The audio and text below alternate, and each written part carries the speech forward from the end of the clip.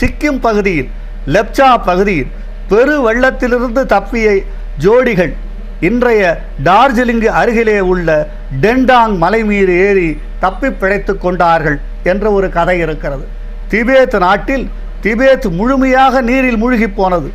கயா என்ற கடவுள் உயிர் தப்பி பிழைத்தவர்களுக்காக இறக்கப்பட்டார். வெள்ள நீரை வங்காளம் வழியாக வடிந்தோடச் செய்தார். அந்த திபேத்திய மக்களுக்கு நாகரிகம் கற்றுத்தர நல்லாசிரியர்களை கடவுள் அனுப்பினார். குரங்கை ஒத்த அறிவின்றி அதனினும் மிகுதியான அறிவாற்றல் அப்போது அவர்களுக்கு இல்லை. அந்த மக்கள் மீண்டும் மக்கள் தொகையை பெருக்கினார்கள் என்று திபேத்திய கதை சொல்கிறது. தென்மேற்கு வங்காளத்தின் ஹோ பகுதியில் அங்கு இருக்கக்கூடிய நாட்டுப்புற மக்களுடைய கதைகள் முதல் குடிகள் ஒழுக்கம் குறைந்து முறை தவறிய உறவுகளிலே ஈடுபட்டார்கள்.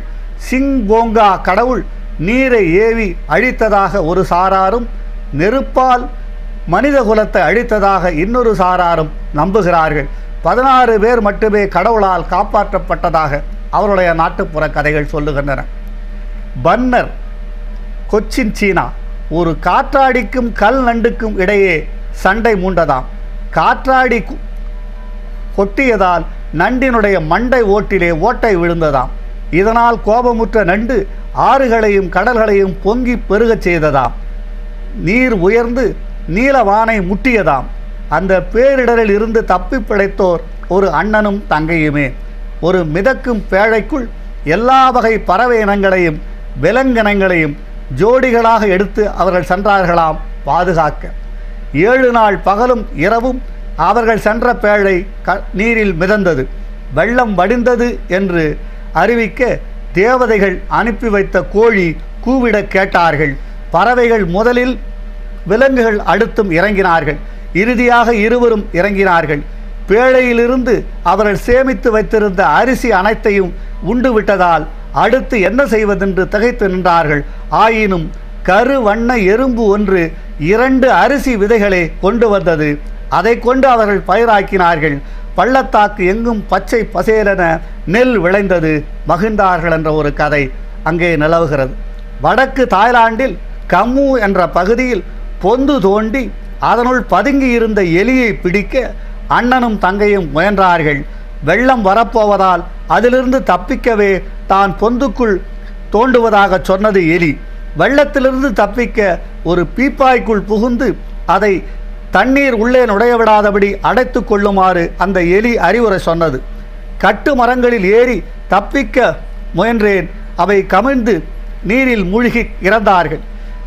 மூடிய பீப்பாய்க்குள் இருந்த சகோதரனும் அவன் சகோதரியும் ஓட்டை போட்டு பார்த்தார்கள். நீர் வடியவில்லை. ஓட்டை அடைந்து விட்டதா? அடைத்து விட்டார்கள்.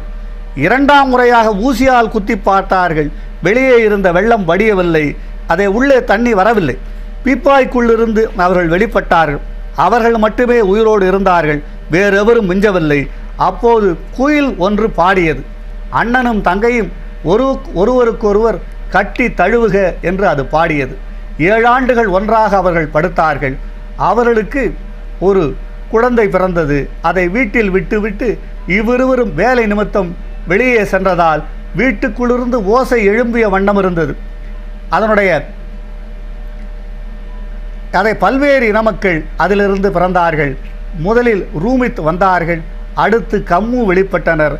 தாய் மக்கள் அடுத்து தோன்றினர். மேலையரும் அடுத்து சீனரும் வெளிவந்தனர். உருமித் கரு நிறத்தவராவார். முதலில் எந்த இனத்தவருக்கும் பேச்சு வரவில்லை. ஒரு மரத்தின் கிளை மீது அனைவரும் ஏறி அமர்ந்தார்கள். அது உடைந்து விழுந்தது. எல்லோரும் கூச்சலிட்டார்கள். அவர்கள் பேசும் திறன் பெற்றார்கள். பிறகு பல்வேறு மக்களின பிரிவினரும் பல்வேறு விதமாக எழுத கற்றுக்கொண்டார்கள் என்ற ஒரு கதை அங்கே நிலவுகிறது.